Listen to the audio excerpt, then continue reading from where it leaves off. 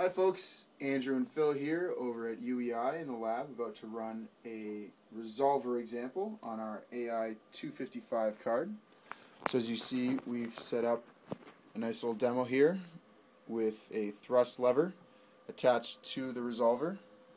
And using our six slot rectangle chassis we will be gathering data on our analog input 255 synchro resolver card. And here to log this data is National Instruments LabVIEW thrust lever demo that we've set up.